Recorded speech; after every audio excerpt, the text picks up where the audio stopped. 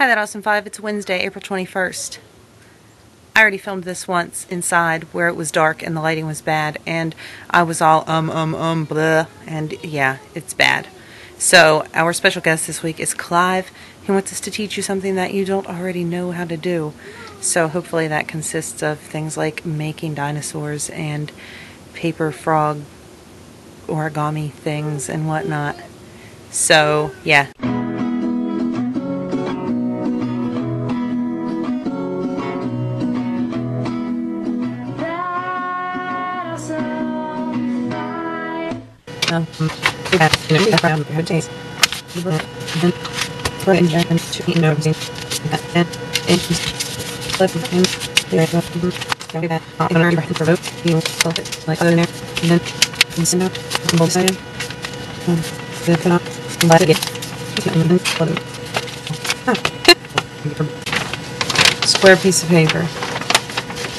Now this is, I don't, I don't really know how to explain this. It's kind of tricky, so I'm just gonna like do it. Um, you need to fold it like, whoa, not like that. okay. See, you need to like, yeah, fold it in like that.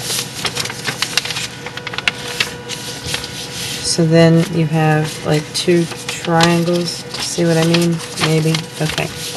Whatever. So then you take and fold up the ends on this side.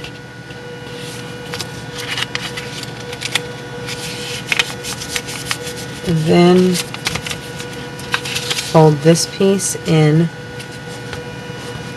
and this piece in. Ow. So you end up like that. That's all I'm going to do to this side for now. Then turn over to the other side.